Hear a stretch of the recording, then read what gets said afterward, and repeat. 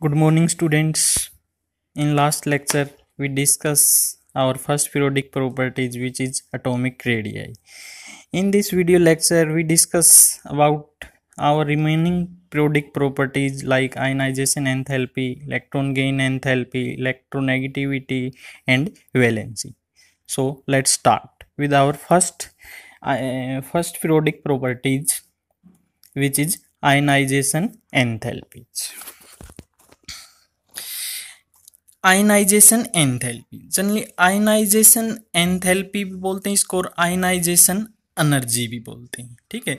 Generally ये क्या है कि टाइप ऑफ़ एनर्जी है, ठीक है? जनरली इसको डिस्कस करते हैं, क्या होती है आयनाइजेशन एंथैल्पी और आयनाइजेशन एनर्जी। ये वो अमाउंट ऑफ़ एनर्जी होता है, ठीक है? मींस वो मिनिमम अमाउंट ऑफ़ एनर्जी जो हमें रिक्वायर होता है किसी भी एटम की या एलिमेंट्स की आउटर मोस्ट सेल के अंदर जो इलेक्ट्रॉन प्रजेंट है, उस इलेक्ट्रॉन को निकालने के लिए जितने अमाउंट में मिनिमम अमाउंट में एनर्जी हमें चाहिए that is called ionization enthalpy तो it is the amount of energy required to remove the outermost electron from an isolated atom in its gaseous state means क्या है? मीनिंग वही हुआ कि किसी भी आइसोलेटेड का मीनिंग सिंगल एटम जो क्या है? बॉन्डेड नहीं सिंगल एटम इंडिविजुअल उसके आउटर मोस्ट सेल से हमें इलेक्ट्रॉन निकालने के लिए जितने अमाउंट में मिनिमम अमाउंट में एनर्जी चाहिए that is called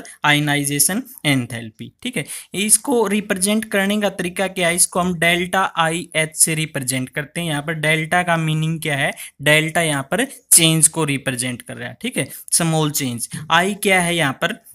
आई जो है आयनाइजेशन के लिए रिप्रेजेंट किया गया है। और एच क्या है? एच से हम एंथैल्पी को रिप्रेजेंट करते हैं। तो डेल्टा आई एच से हम आयनाइजेशन एंथैल्पी को रिप्रेजेंट करते हैं। तो इसको रिप्रेजेंट करने का मेथड देख लीजिए। सपोज़ हमारे पास कोई मेटल है जो गैसियस फॉर्म में है, ठीक है? उसमें क्या हमने स्मॉल अमाउंट में मिनिमम अमाउंट में एनर्जी सप्लाई कर दी तो वो क्या कर देगा? इलेक्ट्रॉन लूज कर देगा। मींस क्या है? उसके ऊपर क्या आ जाएगा? पॉजिटिव चार्ज आ जाएगा। सिंगल पॉजिटिव मींस क्या उसने एक इलेक्ट्रॉन लूज कर दिया। यहाँ पर सिंगल इलेक्ट्रॉन क्या कर दिया? लूज कर दिया। और वो किसकी फॉर्म में चला गया? कैटाइन की फॉर्म में चला गया गैसी स्टेट में। ठीक है? तो अब इसके बाद डिस्कस कर लेते हैं यूनिट्स ऑफ़ आयनाइजेशन एंथैल्पी और एनर्जी जनरली आयनाइजेशन एंथैल्पी को हम किलो जूल पर मोल में क्या करते हैं? मेजर करते हैं। इसकी यूनिट्स क्या होती है? किलो जूल पर मोल। इसको जो है इलेक्ट्रॉन वोल्ट्स में और किलो कैलोरी पर मोल में भी मेजर करते हैं। तो आपको यूनिट्स क्या याद रखनी इसकी? किलो जूल पर मोल। अब इसके बाद जो है नेक्स्ट टॉपिक आपका वो है successive ionization enthalpy successive ionization enthalpy का मीनिंग क्या है?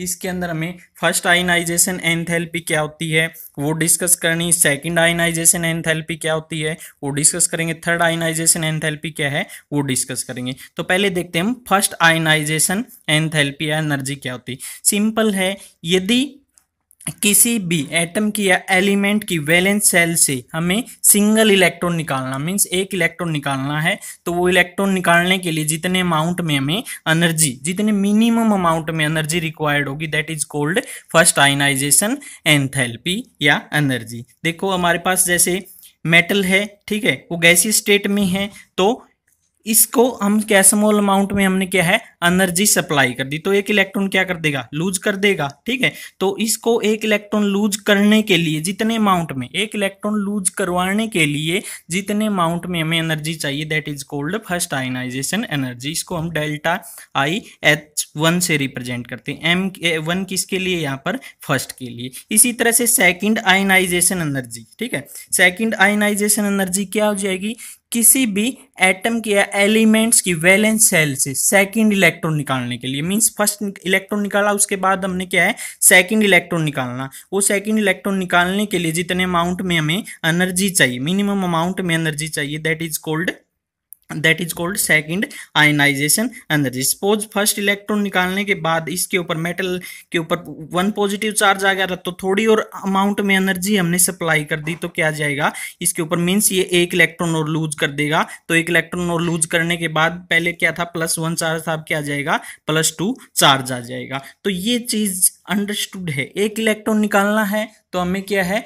स्मॉल अमाउंट में एनर्जी चाहिए। दो इलेक्ट्रॉन निकालने हैं तो और ज़्यादा अमाउंट में एनर्जी चाहिए और तीन इलेक्ट्रॉन निकालने के लिए क्या है? और ज़्यादा अमाउंट में हमें एनर्जी रिक्वायर्ड होगी। तो थर्ड इलेक्ट्रॉन निकालने के लिए वैलेंस सेल से जितने मिनिमम अमाउंट में एनर्जी रिक्वायर्ड होगी। That is called third ionization enthalpy अब कंपैरिजन देख लेते हैं। तो फ़र्स्ट इलेक्ट्रॉन अभी डिस्कस किया, निकालना इजी है। स्मॉल अमाउंट में एनर्जी चाहिए सेकंड निकालना और ज़्यादा चाहिए कि थर्ड इलेक्ट्रॉन निकालने के लिए क्या है? और ज़्यादा अमाउंट में एनर्जी चाहिए। तो कंपेरिजन इसका यदि हम डिस्कस करें तो सबसे ज़्यादा क्या होती है? थर्ड आयनाइजेशन एंथैल्पी फिर second ionization enthalpy and then क्या है? फ़र्स्ट आयनाइजेशन एंथैल्पी ये इसका क्या है? डिक्रीजिंग ऑर्डर रहेगा। अब इसके बाद जो हम डिस्कस करते हैं कि कौन कौन से फैक्टर्स हैं जो क्या है आपकी आयनाइजेशन एनर्जी को इफ़ेक्ट करते हैं। तो कौन कौन से फैक्टर हैं? फ़र्स्ट है, उनके अंदर आपका न्यूक्लियर चार्ज मींस जो वैलेंस इलेक्ट्रॉन की वजह से क्या है? न्यूक्लियस के ऊपर चार्ज होता है, उसको क्या बोलते हैं न्यूक्लियर चार्ज तो आयनाइजेशन एंथैल्पी जनरली क्या है? इंक्रीज होगी जैसे जैसे आपका न्यूक्लियर चार्ज बढ़ेगा।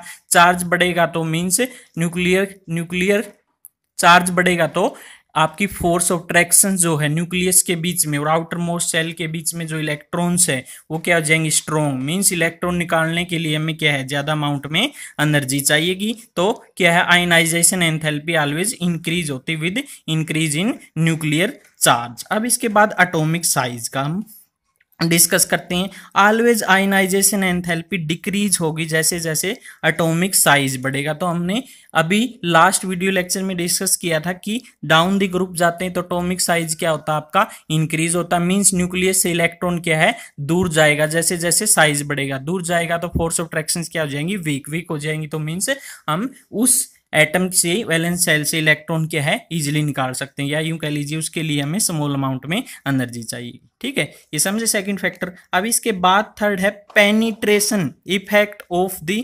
electrons ठीक है? मींस इलेक्ट्रॉन्स का पेनिट्रेशन इफ़ेक्ट का क्या इफ़ेक्ट है आपका इलेक्ट्रो आयनाइजेशन एंथैल्पी के ऊपर? पहले ये समझ लीजिए कि पेनिट्रेशन इफ़ेक्ट या पेनिट्रेशन पावर किसको बोलते हैं?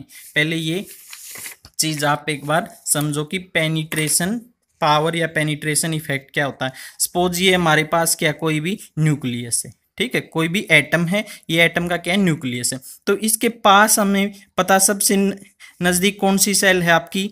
एस फिर पी इसके बाद कौन सी आपकी? डी और फिर लास्ट में क्या आती है आपकी? एफ़ तो सबसे सबसे ज़्यादा जो पेनिट्रेशन पावर या पेनिट्रेटिंग इफ़ेक्ट होगा वो किसका होगा? एस ऑर्बिटल का, या यूँ कह लीजिए एस सेल का होगा। क्यों? क्योंकि आपका एस जो है सब सेल सॉरी एस सब सेल क्या है न्यूक्लियस के क्लोज है तो ये सबसे ज़्यादा पेनिट्रेट करेगी। मीन सबसे ज़्यादा इलेक्ट्रॉन क्या है एस सब सेल के होंगे, इसके बाद पी के, फिर डी के, फिर एफ़ के। तो सबसे ज़्यादा पेनिट्रेशन पावर आपकी एस की होगी, फिर पी की, फिर डी की, फिर एफ़ की। ठीक है? तो हमने क्या है पेनिट्रेशन इफ़ेक्ट क्या है डिस्कस कर लिया। अब देखते हैं पेनिट्रेशन पावर का। या पेनिट्रेशन इफ़ेक्ट पेनिट्रेशन इफ़ेक्ट का क्या इफ़ेक्ट पड़ता है आपका? तो आयनाइजेशन एंथैल्पी जनरली इंक्रीज होगी जैसे जैसे आपका पेनिट्रेशन इफ़ेक्ट क्या होगा? इंक्रीज होगा। मींस जैसे penetration effect suppose S subshell का क्या सबसे ज़्यादा है न्यूक्लियस के क्लोज है तो एस सब सेल से इलेक्ट्रॉन निकालने के लिए हमें क्या है? ज़्यादा अमाउंट में एनर्जी चाहिए फिर पी से निकालना है उसके लिए और कम डी से और कम और एफ़ से निकालना तो और कम हमें क्या है? आयनाइजेशन एनर्जी की रिक्वायरमेंट होगी। तो पेनिट्रेशन इफ़ेक्ट का डिक्रीजिंग ऑर्डर है, वो सबसे ज़्यादा पेनिट्रेशन ऑक्सीडेशन इफ़ेक्ट जो एस सब सेल का होता है, फिर पी का, फिर डी और फिर एफ़ का, ठीक है? अब इसके बाद नेक्स्ट है फैक्टर जो इफ़ेक्ट करता हुआ है इलेक्ट्रॉनिक कॉन्फ़िगरेशन ठीक है? तो इलेक्ट्रॉनिक कॉन्फ़िगरेशन जो है, हम सेकंड जो यूनिट थी, उसके अंदर डिस्कस कर चुके हैं, एक क्या होती है? आपका एक हाफ़ फील्डेड ऑर्बिटल होता है कंप्लीटली फील्डेड ऑर्बिटल जो हम ऑलरेडी डिस्कस कर चुके हैं, और ये भी डिस्कस कर चुके हैं कि हाफ़ फील्डेड जो आपकी इलेक्ट्रॉनिक कॉन्फ़िगरेशन या यूँ कह लीजिए हाफ़ फील्डेड एटॉमिक ऑर्बिटल और फुल्ली फील्डेड इलेक्ट्रॉनिक कॉन्फ़िगरेशन होती हैं, वो क्या होती है? स्टेबल होती मींस उनसे इलेक्ट्रॉन निकालना क्या है? मुश्किल होता है। तो जैसे ही जैसे ही किसी भी एलिमेंट की इलेक्ट्रॉनिक कॉन्फ़िगरेशन हाफ़ फील्डेड है या कंप्लीटली फील्डेड है तो उससे इलेक्ट्रॉन निकालना डिफ़िकल्ट है। मीन्स उसको इलेक्ट्रॉन निकालने के लिए हमें बहुत ज़्यादा अमाउंट में एनर्जी चाहिएगी। ठीक है? तो जैसे आप देखो आपका नाइट्रोजन है, ठीक है? नाइट्रोजन और ऑक्सीजन में हम कंपैरिजन करें तो नाइट्रोजन की जो है आयनाइजेशन एनर्जी की वैल्यू ज़्यादा होती है। नाइट्रोजन का अटोमिक नंबर सेवन है। अगर इलेक्ट्रॉनिक कॉन्फ़िगरेशन डिस्कस करें तो one S two two S two two P three means क्या है?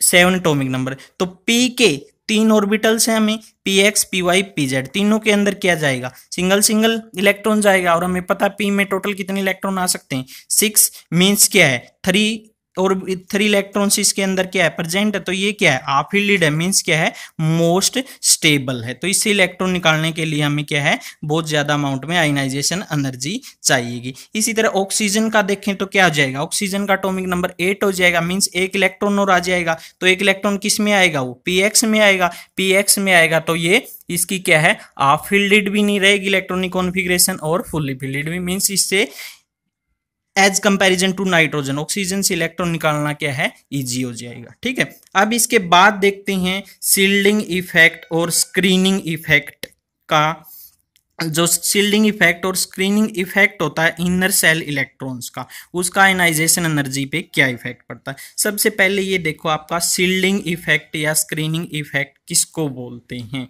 ठीक है? अभी हमने डिस्कस किया था पेनिट्रेशन इफ़ेक्ट अब डिस्कस करते हैं सील्डिंग इफ़ेक्ट और स्क्रीनिंग इफ़ेक्ट इसको भी ध्यान से समझना आप जो है, ये इंपॉर्टेंट टॉपिक है और इसके ऊपर क्वेश्चन पूछा जाता है।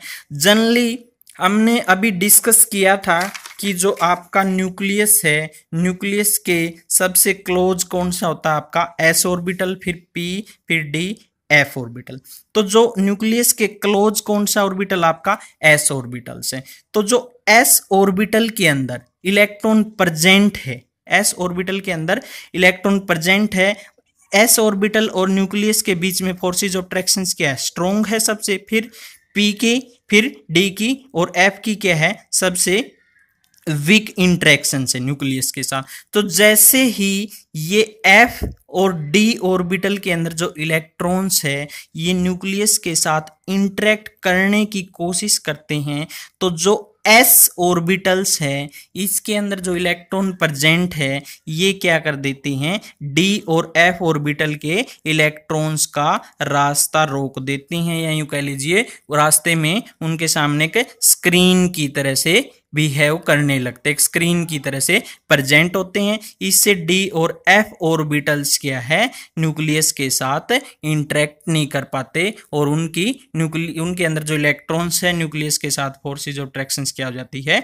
वीक हो जाती है। तो इसी इफ़ेक्ट को मीन्स एक स्क्रीन को ही क्या बोलते हैं हम? स्क्रीनिंग इफ़ेक्ट और शील्डिंग इफ़ेक्ट बोलते हैं। तो अब एस ऑर्बिटल क्या है? न्यूक्लियस के पास है तो सबसे ज़्यादा स्क्रीनिंग और शील्डिंग इफ़ेक्ट एस ऑर्बिटल का होगा, फिर पी का, फिर डी का और एफ़ का तो क्या होता है? नेग्लिजिबल होता है। तो ये क्या आपका स्क्रीनिंग और शील्डिंग इफ़ेक्ट है। ठीक है? ऑफ़ आपको समझ आइए। अब इसके बाद जो है, इसका इफ़ेक्ट क्या होता है? आयनाइजेशन एनर्जी के ऊपर। तो जैसे जैसे as the shielding effect of the inner electron increases, the ionization energy decrease जैसे जैसे सील्डिंग इफ़ेक्ट या स्क्रीनिंग इफ़ेक्ट क्या है इनर ऑर्बिटल्स का एक चीज़ और समझिए यहाँ पे, जो एस और पी है, ये इनर सबसेल काउंट होते हैं और डी और एफ़ क्या है आउटर सबसेल में। तो जैसे जैसे एस पी के अंदर इलेक्ट्रॉन बढ़ते जाएँगे इनर सेल के अंदर तो आपका आयनाइजेशन एंथैल्पी क्या होती जाएगी डिक्रीज होती जाएगी। ठीक है? अब इसके बाद जो है, हम वेरिएशंस डिस्कस करते हैं, ठीक है? वेरिएशंस कैसे आता है? अलोंग ए पीरियड और अलोंग द ग्रुप तो सबसे पहले वेरिएशन अलोंग ए पीरियड ठीक है? तो जैसे जैसे we move from left to right in a period एक पीरियड में हम लेफ़्ट टू राइट जाते तो आयनाइजेशन एंथैल्पी इंक्रीज होती है जैसे जैसे एटॉमिक नंबर इंक्रीज होगा। मीन्स क्या है? न्यूक्लियर चार्ज इंक्रीज हो जाएगा left to right nuclear charge increase होने से क्या है? आपकी फोर्सेज ऑफ़ स्ट्रॉन्ग हो जाएगी तो उसको इलेक्ट्रॉन निकालने के लिए हमें ज़्यादा एनर्जी चाहिए। ठीक अब variation within a group तो जैसे जैसे डाउन द ग्रुप जाते हैं तो साइज़ बढ़ेगा साइज़ बढ़ेगा तो इलेक्ट्रॉन क्या है? न्यूक्लियस से दूर जाएगा तो उसमें क्या है? इलेक्ट्रॉन इजिली हम निकाल सकते हैं। मीन्स उसमें हमें कम एनर्जी चाहिए। तो जैसे जैसे डाउन द ग्रुप जाएँगे तो आयनाइजेशन एंथैल्पी या एनर्जी क्या होगी? आपकी डिक्रीज होगी। ठीक है? तो जो नेक्स्ट आपकी प्रॉपर्टी है प्रोडिक इलेक्ट्रॉन गेन एंथैल्पी वो हम नेक्स्ट वीडियो लेक्चर में डिस्कस करेंगे। Thank you guys